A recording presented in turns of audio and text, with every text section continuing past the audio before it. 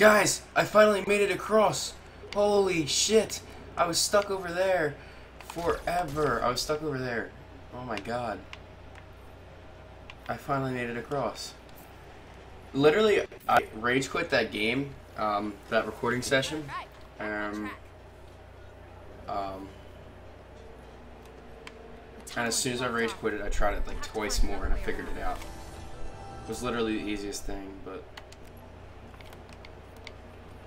Anything else I need to get around here? Nope. Alright, so I gotta try this detour. Uh-oh. Locate the source of the distraction. What the hell are there?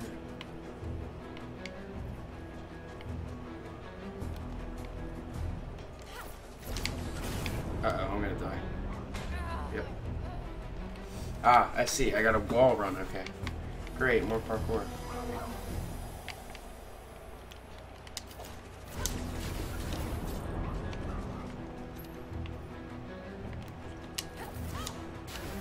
Oh, that's a thin wall. Whoa. Better watch my step. Alright. So, looks like I'll have to go over there. Focus, And up here. Alright, sweet. And then I'll land right there. Nice. Oh god. Ah shit. Oh, I thought I I thought I just fell off. And then I got up here. Cool, cool, cool. Alright. So I got these two things. Now I'm just gonna slide down here. And get that We've made it, Mack.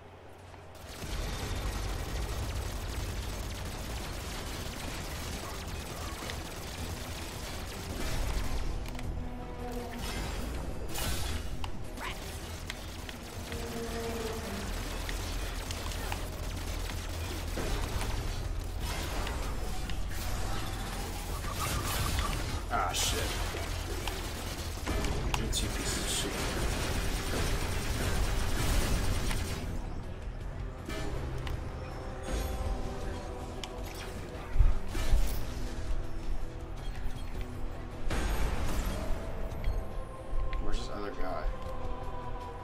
What is that purple light? That looks like it's something important.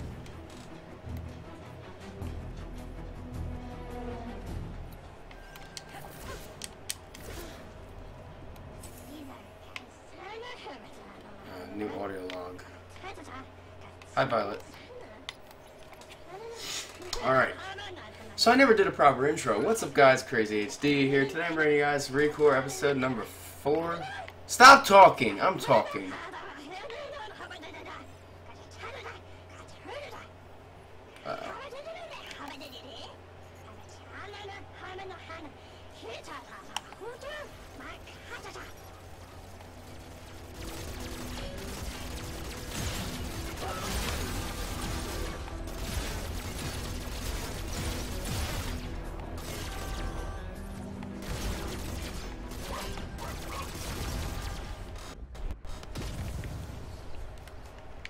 So anyway, at ReCore episode number seven, I took like a three-day break off of this game, trying to calm myself down because I was pretty angry after I spent three whole episodes doing parkour.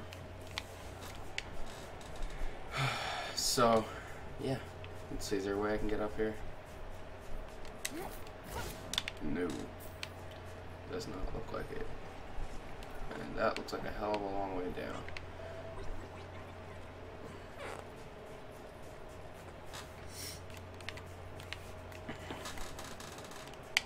Oh, another.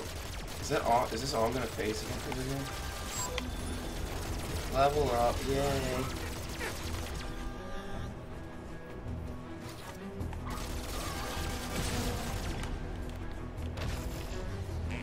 These guys don't even drop anything good.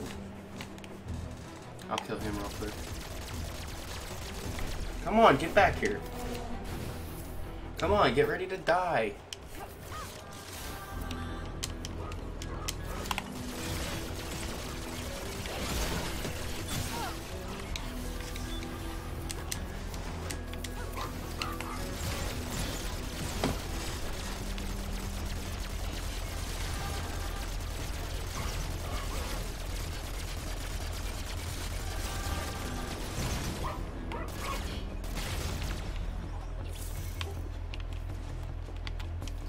So the distress signal's over here. Looks like we might finally be done with the parkour. I finally figured out. Like, if, if, if you're having trouble making it across like that, all you gotta do is jump up, then once you start falling, jump again, and then you dash. I finally figured that out. It's really, really simple, and I made it much harder than it had to be. The heck is this? Oh, cool. Signal is just up ahead. Hang on. It's another crawler.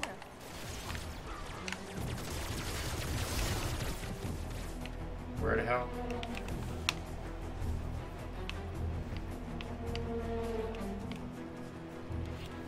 Alright, we got cutscenes.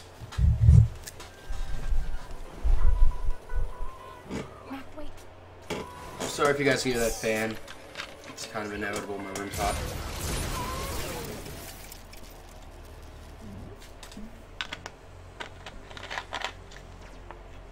I activated my beacon five days ago.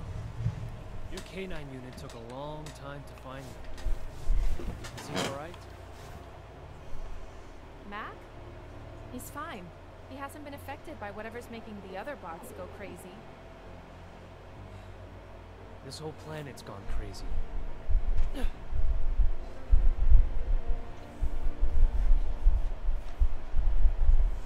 Bren, core maintenance. Joule Adams. Atmospherics. I've been trying to scavenge parts to repair my leg, but we haven't been able to lure the big core bots close to our crawler.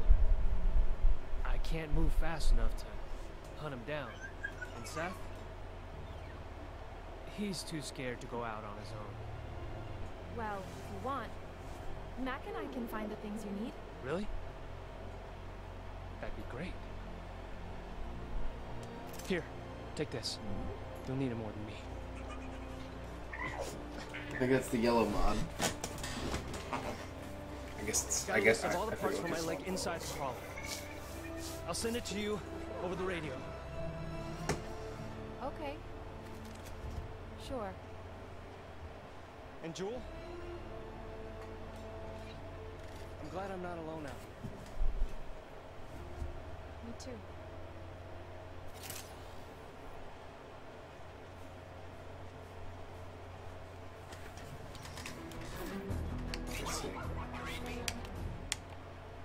Blue firing mode, yeah. I hear you, Kai.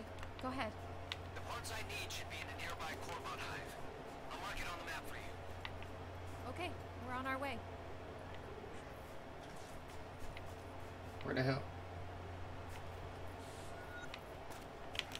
Alright. So we got blue and we got red. We just need yellow to be complete.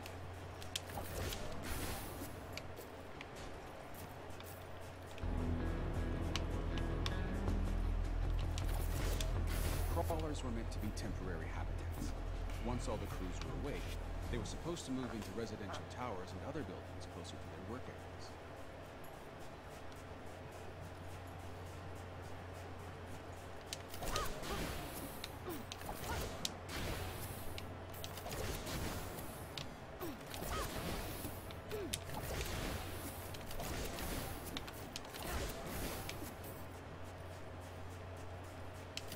This must be the place.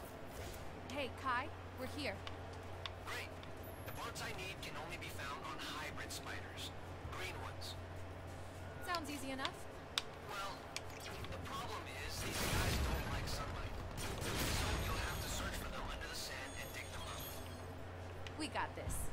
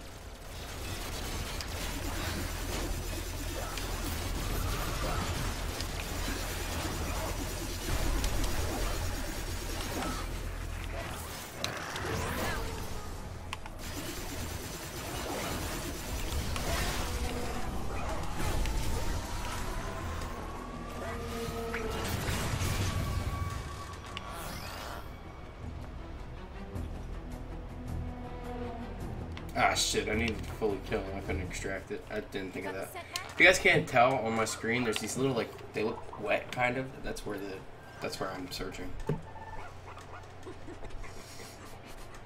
Please be green guy. Alright. Yes, alright.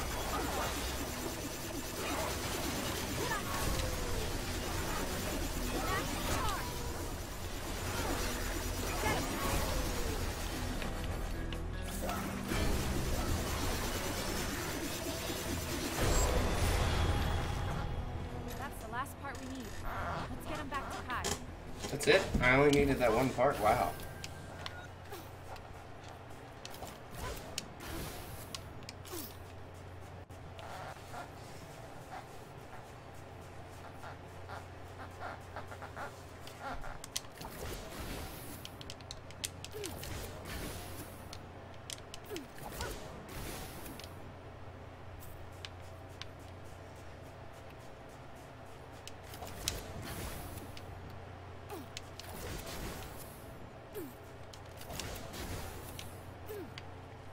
Designed the blue, yellow, and red cores' personalities to suit a particular set of tasks.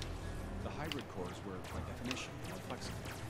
I hoped better suited to unexpected changes in mission parameters.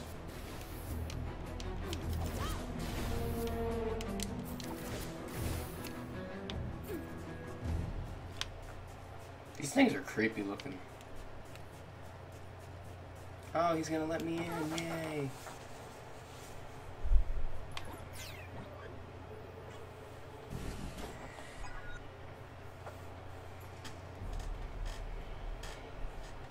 This is gonna turn into a romance, I guarantee it.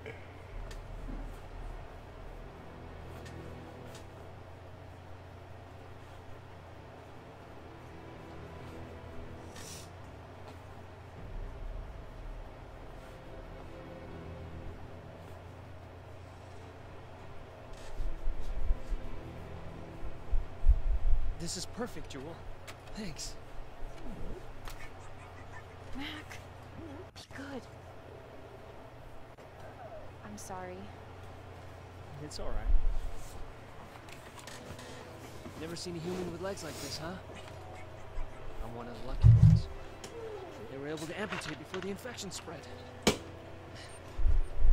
Dust Devil. Class 3 outbreak. Hit Chicago first, spread from there. We evacuated to one of the safe zones. Not fast enough. How about you? East or West Coast? West. Southern sector. I heard that got bad. You lose anyone close? My mom. Now I'm sorry. It's alright. My dad and I, we looked after each other. We were going to come to Far Eden together, but he had to leave Earth on a different ship. He must be up in orbit, sleep with all the others, waiting for the terraforming to finish. Hey Seth, can you dial it up a little? Here. This might help. Where did you find that core? I've actually found more than one, but I don't know what they are. They're called prismatic cores. Top secret mandate. I've only ever heard rumors about Fix the pylon, and they work on other Far Eden systems too. If we find enough of them, maybe we can get the terraforming back on track. Or maybe do a whole lot more. I don't know for sure. But the core foundry might have the answers we need. I'll get my legs working and meet you there. In the meantime, Seth, you go with Joule. Don't worry, you're safe with us. Right, Mack?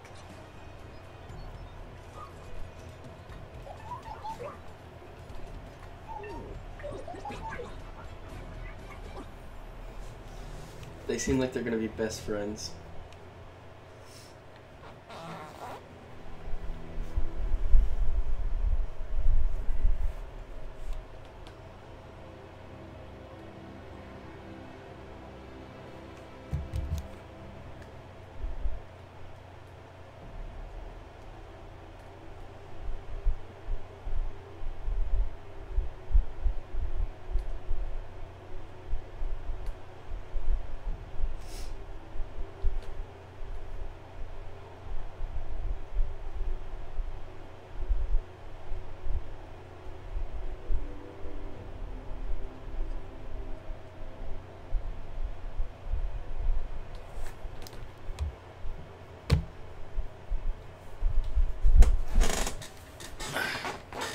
Heard that this game is fairly short. I'm not sure though.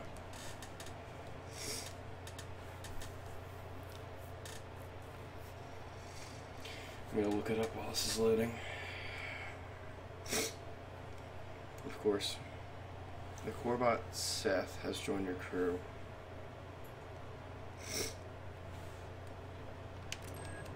Alright.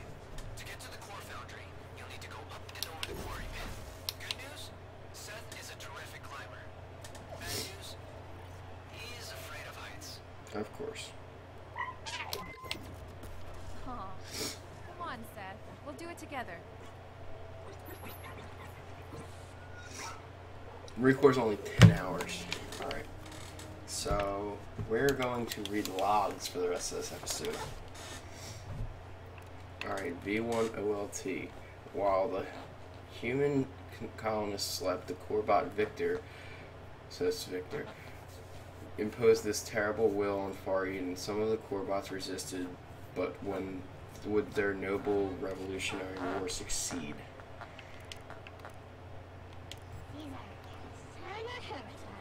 Oh. That's something we can't even understand. Alright, Rogue Corebots. Pathfinder. A yellow canine built for long-range, multi-day sur- survey missions able to able to survive Category 3 storms when its shields are fully powered. Lethal ability is Charge Shield. Charge Shield is a defensive lethal ability that protects it projects invulnerable shields around a Corebot deflecting all projectiles. When the charge shields expire, they emit an expanding dome of damage. Move out of the way of the shields to avoid damage and destabilization. Juggler. The, this orange spider is an elite demolitions unit um, able to. I can't read it. It's still a morning for me able to operate on highly and unstable surfaces, including structures or terrain already destabilized by previous explosions. Lethal abilities are Barrage and Flame Rush. Barrage is an offensive lethal ability where the spider launches several homing shots. Hits can hits deal damage and apply with the destabilized effect. Misses create a field that can slow and destabilize, while barrage effects can be avoided by dash. Its projectiles can also be targeted and shot out of the air. Flame Rush is an offensive lethal ability where Spider Corebot quickly bursts towards the target and smashes through it. The attack leaves behind a flaming field that, if touched, will set opponents ablaze. Flame Rush homes onto its target, making it impossible to avoid without dashing.